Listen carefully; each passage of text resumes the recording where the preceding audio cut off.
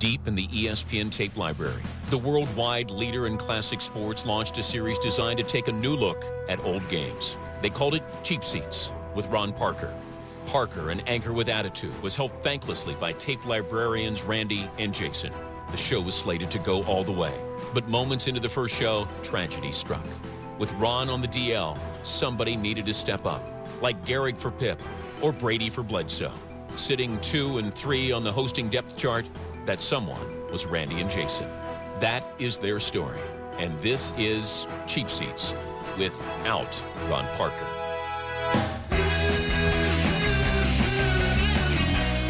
Hey, welcome to Cheap Seats. I'm Jason. This is Randy. And today we're going to be showing you logs rolling and checks bouncing. And no, it's not an episode of the Dukes of Hazzard. It's our wide world backwoods edition of Cheap Seats. And it's one rugged half hour of the kind of redneck goodness that makes you want to go out and buy several yards of flypaper just for the heck of it. We start with the lumberjack competition in Hayward, Wisconsin, which speaks for its redneck self. Then it's on to guys playing soccer on bikes, which sounds like a game you play in a Walmart parking lot while your uncle is inside shopping for artwork and boxer shorts. So with that, we invite those with a valid ID to put down that restraining order, crack open a tin of Skoal Bandits, sit back and enjoy our wonderful low-rent version of the redneck games. It's like the show Cops with shirts. Saw, then chop, and the first You want a birdhouse? I'll give you a frickin' birdhouse. And three weeks later, Sammy Sosa had a brand new Kings cork-filled forest, bat. From here to Australia. I hate totem poles. You'll see them under the blue skies of Wisconsin with a big crowd. No, Ray, that's the cesspool. You'll see them Ah, it's not going to make them any dirtier. If I see you with my wife again, so help me God, I'll chop your... Oh, it's just a log. electric golf cart. We He's got his foot on the neck of the giving tree. That's so uncool. Country cleared by woodsmen. Tough, strong men with energy to burn. And not a woman in sight. to do with it, except sit around with an old hound dog in the evenings and brag And about chop the hell out of it. lumberjack of them all. It was inevitable that one man would dare another to prove his boast, and in 1898 they held the first World Log Rolling Championships. It Where? Niagara that Tom Falls? Fleming was the greatest of them all. And in 1960, the lumber. Are we there yet? Are we there yet? Don't make me get my axe. Population 1457. Once in Hayward, they added other events like tree topping, sawing, and chopping. And cruising the strip for working girls. the double stir. You go, Saturday girl. afternoon, you can go downtown and watch them make fudge. See, kids? Fudge can be fun. Hayward, a vacation town really these days. A vacation although from what? used to be a lumber town. Prison? They come up here from the big cities, from Chicago and Cheeseheads. Detroit and Milwaukee. Come here to sample the cheese and look at the world's largest mounted muskie. That fella is If you clap in front of his mouth, he'll sing Don't Worry, Be one of his Happy. Once a year, you can go down to Tony Wise's History Land and watch the Namekagon Queen come in to officially open the World Lumberjack. Whatever happened to Boy George? Please let this thing hit an iceberg. Please. Good afternoon. I'm Jim McKay speaking to you from Hayward, Wisconsin. And you know, a full decade in all of our lives has gone by since the first time we came here for the Lumberjack Championships. But a decade has passed since they've been there? Clearly they weren't in a rush to get back. Really hasn't changed that much. Neither has the sport. You know, basically, there are two kinds of sports in the world. There are the contrived games, like football, basketball, baseball, things like that. And then there are kind of the basic sports, like, well, let's say track and field. Who can run the fastest? Who can Oh yeah, track and field isn't contrived. People pole vault in the wild all the time. The river, she's too deep. I'm gonna have to triple jump over her. The events are simple in that sense. Who can Ow, climb a tree the ow, splinters in my palms. Ow, ow. Who can saw the fastest? Chop the fastest? Who can spin another awful Whoa, that dude's good. more quickly than all the rest?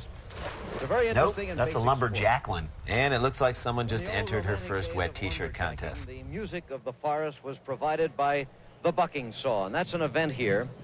Try to put this seven-foot bucking Boing. saw, one man, Boing, all the way through this oing. 20-inch Boing, oing, pine log fast as you can. The world record, an almost unbelievable, 24 and one-tenth second. You know, I don't if believe you. you. I tried this, I swear it would have to take us about a half an hour or something to go through this. Speak for yourself, McKay. I've been working out. Suddenly, the teeth on these big saws probably look as if they're cut in a very random way, like a badly arranged set of human teeth. That's why it's called a. British saw. Very scientifically done. Let's take a look at them. For example, these two teeth here on each given set of teeth when What the hell is this? Wood chopping 101? These Yeah, we better be getting college credit for watching this.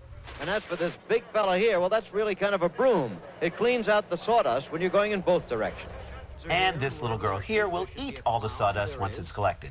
Right now, we're ready for the finals in the one-man bucking. It's going to be John Miller against Ed Rosemeyer. John Miller is the world record holder in the event. He's on the left. He set that record of 24 and 110 second, but this is Wow, he came a long way to get there. Well, we know who Roseburg, Oregon's rooting for. That same town out in Oregon. There's Miller with his back to you. World Or do we? 110 second. He set it Wow, what are the odds? 1966. Okay, here they go. Is that his wife oiling the saw? That is a domestic dispute waiting to happen. Each man has a pit crew, you might call them, applying oil to the saw to keep it lubricated so the log doesn't Honey, don't put the oil on the log. Well, where would you like it? On the saw, like we practiced. God. Really impossible to say who's ahead. Must Rosemeyer with the beat elderly Man with the couple. Really got to be close. Here they come. Come on, faster, honey. Oil it faster. I'm trying. Way to go. Could you have oiled it any slower? Stroke of the blade. Ed Rosemeyer Nice, you smoked an old is the dude.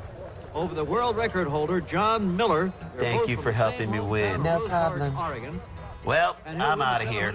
And by here, I mean this marriage. The. The time 30 and 1 tenth. That's well off the world mark. Now, who's going to saw those sideburns?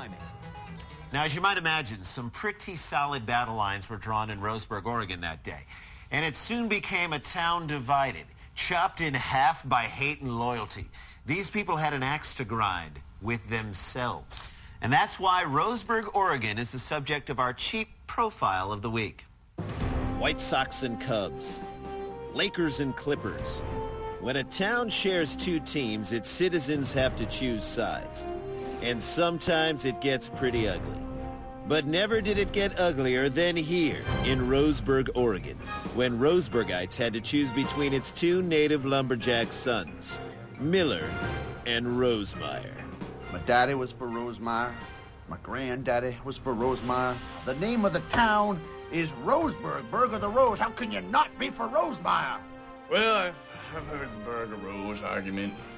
Don't make sense. If the town was called Rose Meyerburg, that would make sense. But it ain't. Just ain't. The Millers uh, helped discover Roseburg. They're some of the first people here. They actually built the very first of 17 chocolate factories in town. Before the feud, Roseburg was a virtual paradise. No one knew about us, nobody bothered us, and there was chocolate everywhere. In a rare show of solidarity, Roseburg tried to settle its feud before the World Lumberjack Championships, but the unthinkable happened. It was about two weeks before the competition. We had a debate at town hall to try to put the whole issue at rest. And then the video popped up. The video in question comes from a surveillance camera located in Ed Rosemeyer's garage, which shows John Miller's younger sister Lizzie doctoring Rosemeyer's prize saw. She should have her dirty Miller hands cut off. The two camps once again were torn apart, and Roseburg, Oregon was quickly becoming a town on the verge of destruction. There was a lot of anger in town at that time. Chaos. People were destroying what they loved most about the town. Chocolate. Hate filled the air. I remember waking up and seeing giant flames outside my window. And I turned to my wife and I said, hey, darling, honey, do you think that's the smell of Miller's burning flesh? She said, no. It's just the smell of chocolate burning in the wind. Unemployment in Roseburg quadrupled, and the town has never recovered. It's sad, really, because here we are almost 30 years later, after the lumberjack competition. Those two guys don't even live around here anymore. There's still no jobs. But there's still a debate about it. It's never sad to have pride. Rosemeyer may have left town years ago, but that doesn't mean I will ever stop thinking about his gorgeous body and athletic skill. No, he's a great man. And all the chocolate and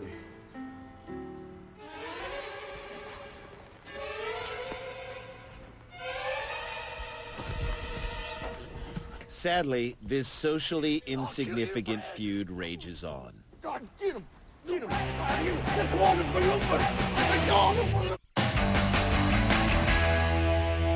Welcome back to Cheap Seats. We are watching another installment of ABC's award-winning Wide World of Sports. What award is that? The Latin Grammys. The first Hayward, Wisconsin Lumberjack competition took place in 1959. Only 35 tickets were sold for the first day's performance. Now, over 12,000 people come every year. Man, we'd kill for that size audience. Yeah, 35 people would be sweet. Mm. Let's get back to the wood. Silhouetted against the blue sky of northern Wisconsin, you're looking at the top of a cedar log. And it's the world's largest stripper poles. We've got John Miller on the main stage. Ed Rosemeyer on the is what an event bar. Speed climbing. The object, very simple as all of these events are. Because simple is simply the only thing these simple-minded simpletons understand, right? All right. Now, which one's number one and which one's number two? rope that goes around it, but mostly it is this small spike. We will call it spike that helps him to scale the pole, and then perhaps even more important, snubs him as he almost free falls to the bottom of it. It's a tremendously exciting event, really. Really? Speed climbing. Right, Jesus? In the final this year, we're going to have Armin Didier against Leslie Stewart. This is Armin Didier. Clint's from brother. Columbia, Canada. One of the very best in this field, but so is Leslie Stewart, another Canadian. Canadians are very strong in this sport, have been for some years now. Come on, that's the kind of talk that got Jimmy the Greek fired. In the free fall aspect of this, when they're on their way down, it's important to remember that the rules state you can only free fall 15 feet at a time, no more than that. It's a kind of a safety measure. Without the safety part. Call him right now. That's Stewart in the green shirt nearest to you. Didier on the Cable Guy. Boot Camp. They said they'd make it up to the top between 2 and 6 p.m. He missed the bell. He missed it again. Stewart's got the lead. But here comes Didier. Look at him come down that pole. Looked like he missed the bell That can't be good for the knees. On the far pole number two, Armin Didier Cheeseheads. the speed climbing event. And yet, he's still unemployed and single? Missed the bell three times. All right, fast forward. Fast forward. All right. The place very securely, very tightly. Could be dangerous otherwise. And there is Arden Cogar of Webster. Well, first we'll suck out the fat from here. Then we'll take it in a few inches here, and then we'll increase you a full cup size Where here. you want those first cuts to go. His opponent. No, dude, you're supposed to draw on the log. New Zealander, now from British Columbia, Canada. By the power of Grayskull! Whew, that tired me out. Talk to Arden here a little bit earlier. Talk to him about the technique of his event. How does this work? What's the technique of this event? Well, pretty much you take the axe and then you hit the log. Duh. First thing, you, it, you you put two blows up. You see, one on this side right over here, and one here, and then one here and one there. Talk about being overdressed. You're an axe chopper. Put some freaking jeans on. Roll out, you see. Yeah, that's the, the first four cuts. You did two down here? Two down here, one over here. How one are they here, still talking about this? It's simple. Well, that was Arden a couple of minutes ago. Here he is right now, nearest to you in the red shirt, ready to go against Ryan Hurley of Must British Columbia, keep Canada. chopping. Remember, Must 19 and 9 silence seconds. lambs. For a 14-inch log, that is incredible time. Hurley may be a little bit ahead. I wonder what they're thinking about when they're chopping those logs. Oh. Okay. leader. Yeah, he's he's got got by just a bit. Well, they've already passed that world record time, so it's going to be nowhere near that. Going for the world title of the Lumberjacks in this event. Standing chop. Whoa, dude, that guy fell down as soon as that other log went down. All right, go back. Go back. That's a voodoo log. Voodoo log! Arden is the winner. Hurley he lifted, lost his balance, and fell down. The man from West Virginia, whom I Here, kid. here Catch. Thanks. Mean Joe. Okay, let's go back to that interview with McCann, the lumberjack, who was explaining how to chop a log. That explanation took so long, we couldn't help but show it to you again in a cheap reenactment. Cheap seats, cheap reenactment. So tell me how this thing works. Well, Jim, it's as easy as it is simple. First things first, you got to mark your log. Then you chop it. No. Then you pick up your axe. Then you chop it? No. Then you bring it back real high with a good grip. Then you chop it. No. Then you bring it forward, bring it back, and then two chops at top, two chops at bottom. Then it falls over. No. Then you move around to the other side. Two chops at top, two chops at bottom. Then it falls over. Not if you do it.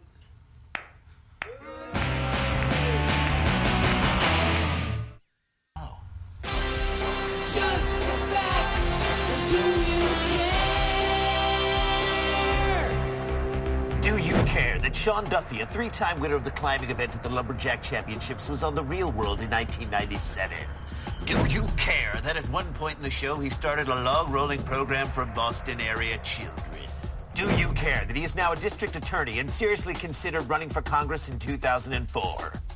No, but I do care that his campaign manager was Eric Nies. Yeah, and that they ran on the dance party ticket. Oh, hey, uh, do you think? What? Mia people? The classic event of any lumberjack championship is the log Okay, you don't need to hold the ropes. The logs are tied to the dock. L-I-N-G. The object of it is very simple, to spin your opponent off the log and into the water. What you're looking at right now is a flashback to the first log. Log rolling Brett Hall? Job. Bill And he's up against outdoorsy Frank Zappa. young Jim Fisher from Stillwater, Minnesota. For a long time, You go. No, you go. Go. You go. All right, we'll both go. On this red log, they went a total of two minutes. Then they White log rolling in the dead of night. Is four minutes. And they went right through that one Wouldn't it be great if some drunk dude on a wave runner just totally bisected that log? Best two out of three. Back they brought them again. As you can see, we're not too far from the forest. or a garbage can. The festivities here. But here is the action resuming again. Bill Scott on the left, Jimmy Fisher on the right now, wearing the hat. A Jimmy hat. Final fall for the World Log Rolling Championship, an event that is actually supervised by the International Log Rolling Association. Look out! And it's Bill Scott down! Oh, Fisher with the upset. he was the loser. A tremendous upset. Young Jimmy Fisher just out of the service. If you Young? What service did he return from? The Confederate Army? Look at Jim Fisher. He let me give you a hand there, buddy. Whoa, okay, that's a little too much. By Bill Scott, first of all. And the title returns to the United States for the first time in 19 years. USA, USA, USA. Wow, what a win for the Americans. Huge. I guess you could say Uncle Sam's got log rolling in his genes. So, what, are you saying that log rolling is innate? Because I think it's an acquired talent. Well, then you're an idiot. Well, I don't think so. Well, I think I know a couple of guys who can help us settle an even deeper log rolling debate.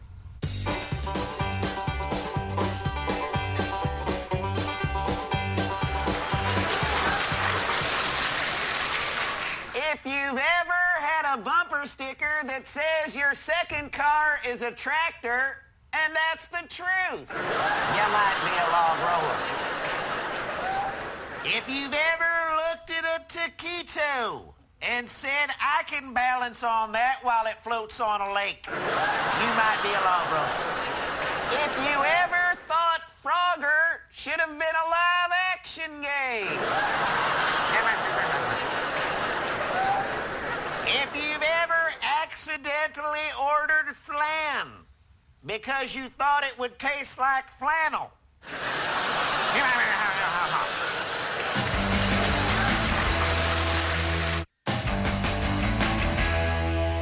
Well, let's switch gears a bit as we move to our second Wide World event of the show. For those of you who love cycling but have always felt there's not enough soccer mixed in, this next event is for you. It's called Cycloball, and it was the best pairing of two unrelated sports until the X Games went ahead and combined bowling with swimming. It's Cycloball from the 1960s in Switzerland, and I can't think of a bigger party. The score is one to nothing in favor of West Germany. West Germany in the white shirts with the dark stripes. Are they in someone's basement?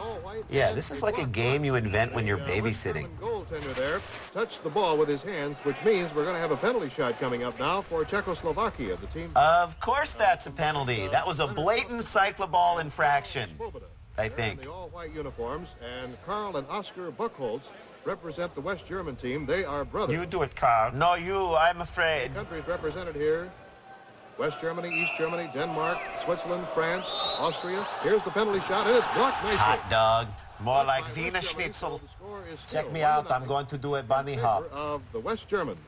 But two minutes to go here in this first half. Look at that thing. It's lopsided. Yeah, what are they playing with? A pumpkin? Trying to build their lead.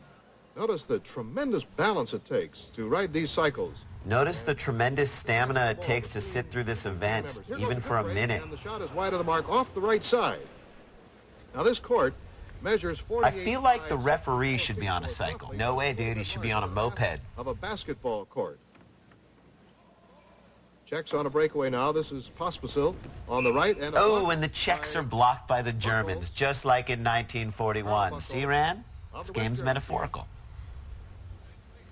This uh, cloth ball, incidentally, is just a little bit larger than uh, all those... Wow, that corner kick was effective, metaphorically. That uh, little banked railing that runs around is about 15 inches high. Go! Cyclone go!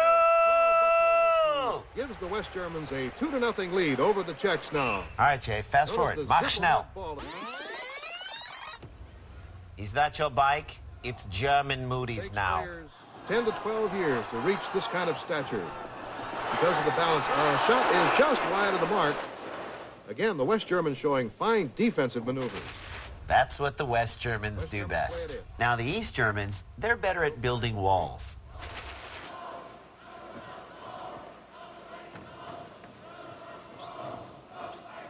Well, this highly spirited crowd here wanting the Czechs to come back. The Swiss crowd seems kind of neutral. They've seen a fine comeback so far. The West Germans now with the ball. I get nervous when the Germans go on the attack. I feel like they want more than just cyclo goals. What a play by Pospisil of Czechoslovakia, and it is All now due to time constraints, we're going to have to fast forward to the final seconds. This is it for all the cyclo marbles. Czechs are down 5-4. They got a penalty shot with seven seconds left. Let's see if bike riding Vaclav Havel can put the biscuit in the cyclo basket. To go, a penalty shot. This could be it. Swoboda moving in. It's blocked by Buchholz. God! And uh, No! the ball in play. No, it's all Why'd over. they quit? They had four more seconds left. And the Czechs seem to be devastated by the loss. By the score of five to four. And good That was pretty bizarre, yet strangely addictive. I know. Ten minutes of that actually end up having more action than your average New Jersey Devils game. That damn blue line trap is ruining cycloball. All right, okay, okay. Now it's time for us to pedal out some cheapies.